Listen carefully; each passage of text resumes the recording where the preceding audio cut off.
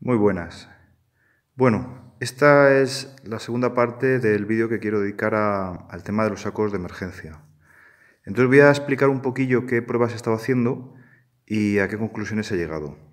Porque la verdad que este tipo de cosas, hasta que no las pruebas, no, no, no ves, porque al final llegas a una pequeña decepción y hay que buscar un poco el cambio de ideas o combinación de elementos para ver que realmente nos pueda valer para algo, que es en un momento dado pasar una noche y si nos tenemos que abrigar con estos elementos, pues poder hacerlo. Bueno, la primera prueba que hice, la primera primera fue con este saco de Altus, eh, directamente en la cama, en gallumbos, 19 grados, estuve hora y media. Hora y media empezó esto a estar la condensación, me mojaba el cuerpo, era insoportable. Entonces, a la hora y media tuve que abandonar, a 19 grados, o sea, fijaros. Lo mismo pasó con, este saco anaranjado. Que este, fijaros, simplemente lo que os comenté en el vídeo anterior. Si escucháis, no suena como esto. Y este no suena como este. Este suena más a, a manta aluminio. Este es el barato, el de AliExpress. Este suena un poquito más a plasticorro, pero sigue siendo este material. Y este suena a bolsa de plástico. Esto es como si fuera una bolsa de basura grande. Bueno, lo que estaba comentando.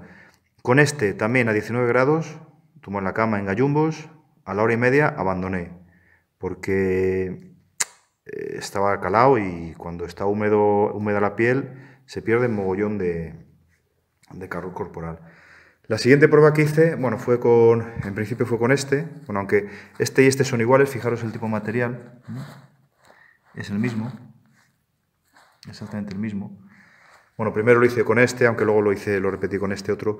Este, a no retener el calor corporal, porque esto no retiene el calor corporal, a la media hora tuve que abandonar, porque aunque hubiera 19 grados, cuando estás en gallumbos, eh, parado se pasa fresquito.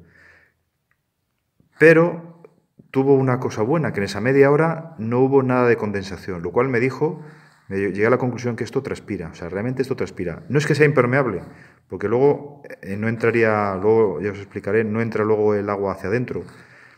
Sin ser impermeable nos protege de la humedad exterior, pero transpira, que es la, parte más importante.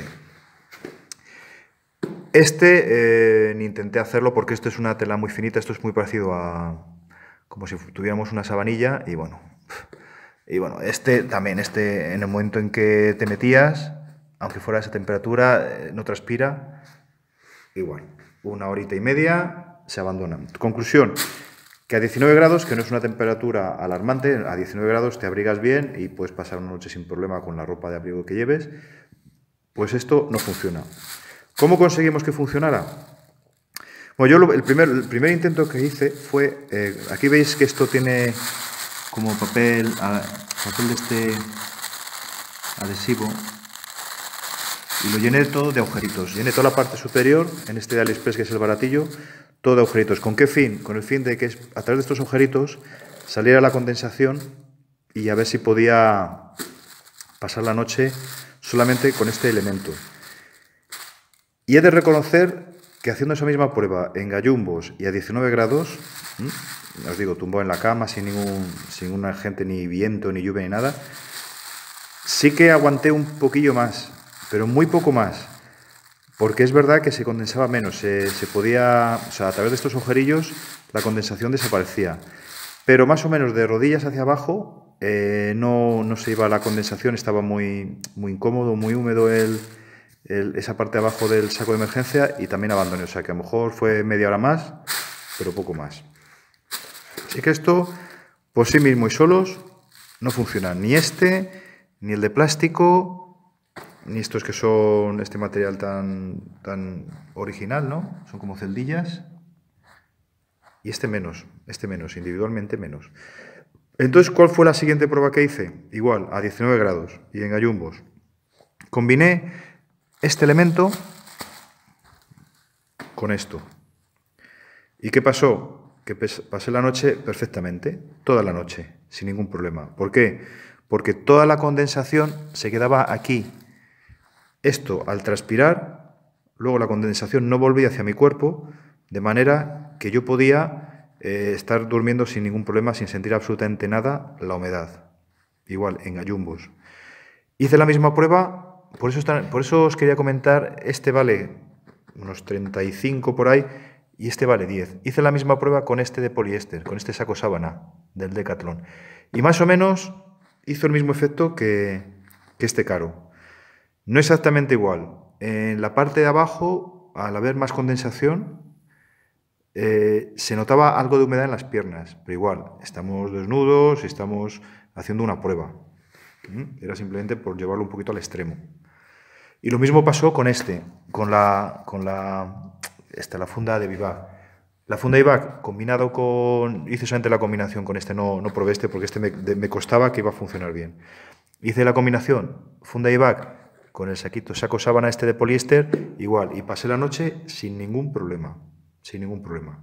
Entonces, ¿a qué conclusión llegamos? Que por lo menos para poder utilizar este tipo de material hay que utilizar un elemento que nos proteja de la condensación. Ahora, eh, ¿cómo seguí avanzando en las pruebas? En las siguientes pruebas que hice ya metí eh, a 14 grados, igual en gallumbos. Y a 14 grados no hice solamente este elemento más este elemento. A 14 grados cogí tres. Cogí este, cogí este otro, ya agujereado también, y este otro. Igual, en gallumbos.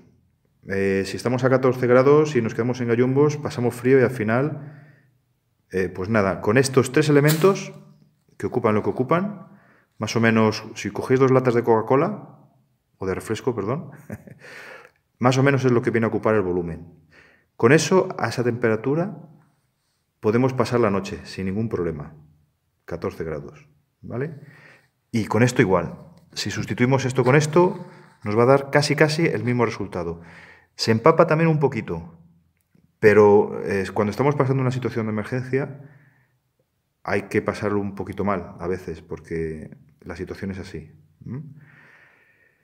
También hice la prueba utilizando este, este, este y este. Y más o menos fue el mismo resultado. ¿Cuál es la ventaja de la primera combinación que hice?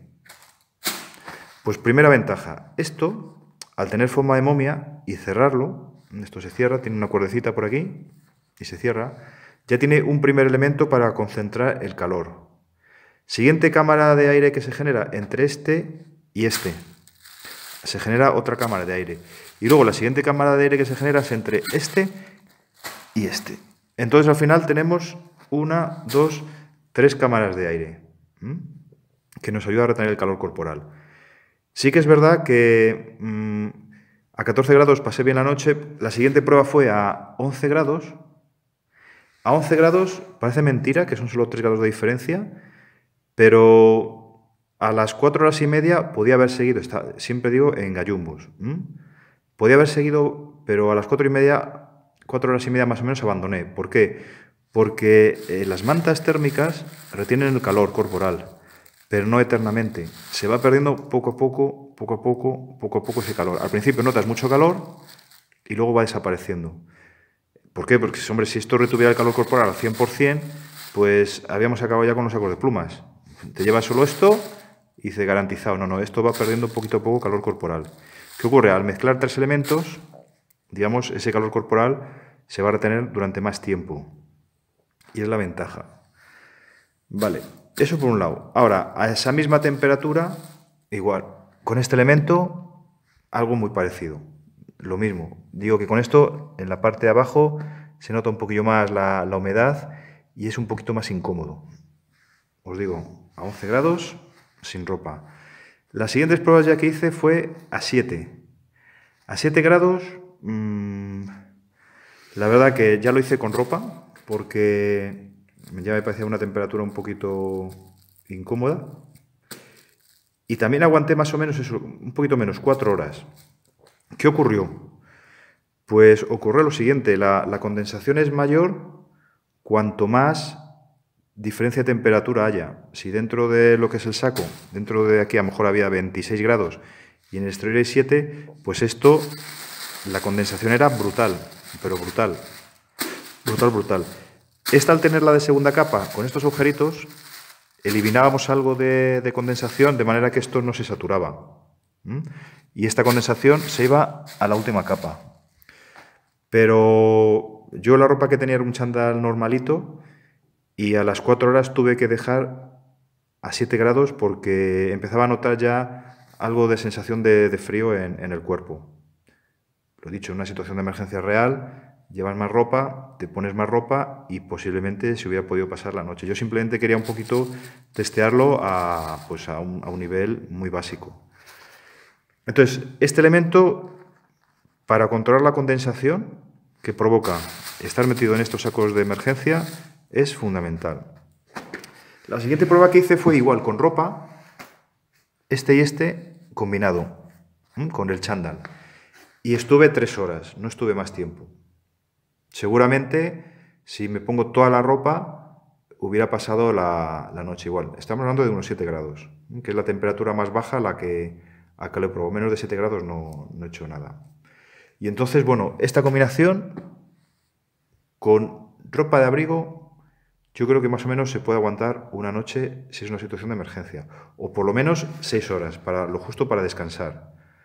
Pero fundamental, fundamental es la combinación de un elemento que nos separe de la, condensación. ¿Vale? Eh, de estos dos elementos, yo, si, si, os decidís, vamos, si alguien quiere probar, este sistema de momia es mucho mejor que este que es abierto. Eh, os dais cuenta que esto es como si fuera una sábana, pero esto, por la cabeza, por la parte de arriba, se va a ir, se va a ir mucho calor corporal y se nota muchísimo, muchísimo. O sea, se nota muchísimo, la verdad. Mientras que esto cerrado, pues el sistema este de momia, pues claro, está pensado para eso, para hacernos ahí como si fuéramos una especie de capullo y que todo ese calor se, retenga. Ahora, ¿qué cosas yo combinaría? Por ejemplo, si tuviera que llevar todo lo que yo pudiera, pues evidentemente combinaría un elemento que nos protegiera fuerte del exterior, un elemento para retener el calor corporal y un elemento para retener, o sea, para evitar que la condensación nos toque la ropa. ¿Vale? Entonces, con este elemento, con la funda IVAC y con esto, yo lo echo al saco y me sentiría pues bastante cómodo pues si tengo que pasar una situación de emergencia. ¿Qué ocurre? Que aquí los precios son, pues esto es carillo, eso es caro, esa es caro. Ahora, si queremos algo más barato para poder echarlo al macuto, pues eh, vamos a sustituir este elemento, lo sustituimos por el saco sábana de poliéster. Si es de algodón no vale, porque el momento en que se cala eh, nos va a mojar también la ropa, el cuerpo y no, no va a valer. Yo uniría este, el de poliéster, y este en principio no lo usaría para nada. Usaría la combinación de este y este otro. Los las dos mantas térmicas para que generan dentro entre ellas una cámara de aire y esto nos eliminaría o nos protegería bastante bien de la condensación. Digamos que sería la solución barata. Ese ese es. ¿Vale? Ahora voy a, voy a recoger todo para que más o menos lo voy a, lo voy a empaquetar y lo voy a poner en, para que veáis un poco, un poco el volumen, lo que ocupa y para que eh, os hagáis una idea de lo que os puede llevar en el, en el Makuto. ¿Vale? Bueno, pues lo voy a recoger todo y, y vemos el volumen como es.